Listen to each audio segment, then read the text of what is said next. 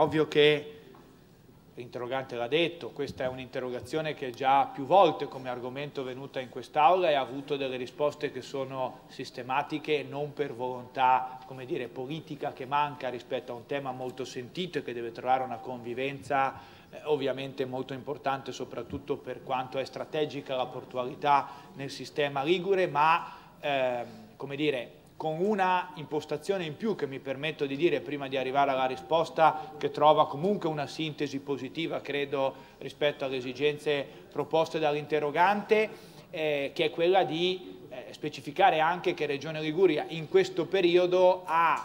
eh, terminato quell'iter che era rimasto purtroppo appeso alla mancata completa riforma del Rio, cioè si è portata a casa anche la eh, rilevazione dire, della qualità dell'aria rispetto agli impegni eh, che oggi noi gestiamo come Dipartimento Ambiente e quindi abbiamo dire, la possibilità di agire secondo quanto diceva il consigliere De Ferrari, cioè da stimolo al fine di poter valutare quelle eh, azioni che sono eh, atte a poter contenere dire, sempre di più le emissioni con le nuove tecnologie, con tutto ciò che oggi ci è permesso e consentito rispetto a questo tema molto importante. Eh, il eh, citato Civitavecchia Blue Agreement è un accordo volontario fra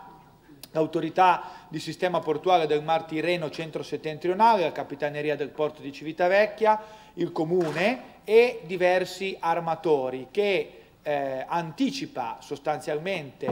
di tre anni alcune misure che sono previste dal 152-2006. In base a questo accordo le compagnie di navigazione si impegnano a far funzionare gli apparati motori delle navi con combustibile per uso marittime caratterizzato da un tenore di zolfo non superiore allo 0,10% non solo durante la sosta in banchina ma anche durante la navigazione, a partire da un'ora prima dell'accesso della nave in porto. Come è noto, le reti di monitoraggio sono progettate per misurare le ricadute delle principali fonti di inquinamento, fra cui le emissioni derivanti dallo stazionamento delle navi in porto. Questi dati misurati sono anche completati da simulazioni modellistiche che permettono di discriminare, seppure con una incertezza tipica ovviamente per questo tipo di stime, le sorgenti dell'inquinamento che noi andiamo a monitorare. I risultati dei monitoraggi, come lei sa, consigliere e di queste stime modellistiche che vengono elaborate sono a disposizione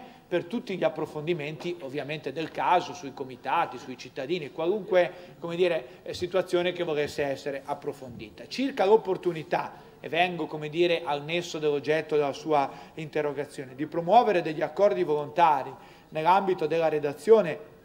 di questo piano di azione anche di Regione Liguria per eh, migliorare la qualità eh, dell'aria, io credo che sia eh, dire, di cogliere positivamente questo spirito di richiesta di arrivare a un tavolo dire, di eh,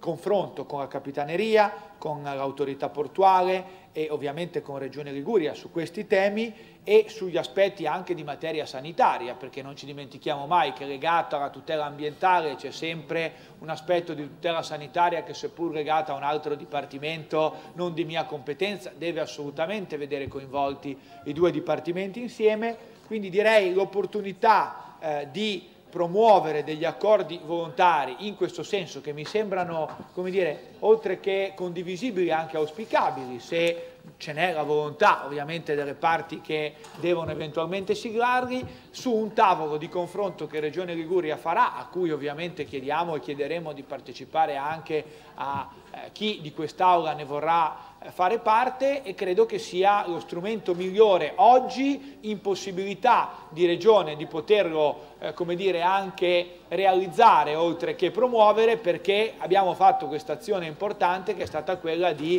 portarci in casa la rete di monitoraggio, io direi anche con un pizzico di, eh, come dire, non solo di volontà politica ma anche di coraggio istituzionale perché è chiaro che metti in casa un sistema di reti che va sempre aggiornato, un sistema di eh, valutazioni che spesso deve trovare una mediazione fra gli interessi commerciali e ovviamente l'interesse della salute dei cittadini che deve venire prima di tutto e credo che sia comunque un percorso fatto con grande trasparenza che spesso ha trovato delle risposte che sono state ripetitive nel tempo, ma perché le competenze sono molto chiare. Oggi possiamo parlare di una competenza in casa rispetto alla rete di monitoraggio che ci consente in risposta positiva alla sua interrogazione, direi al rientro dire, del periodo estivo, di convocare questo tavolo nella speranza che poi gli attori principali vogliano in sintesi di quanto fatto anche da altre parti poter agire in questo senso. Grazie.